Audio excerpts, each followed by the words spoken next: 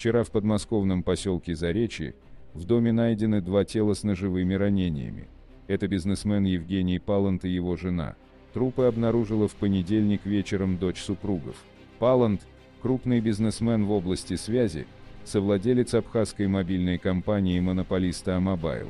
По предварительной версии, женщина могла убить супруга из-за ревности, а затем покончила с собой.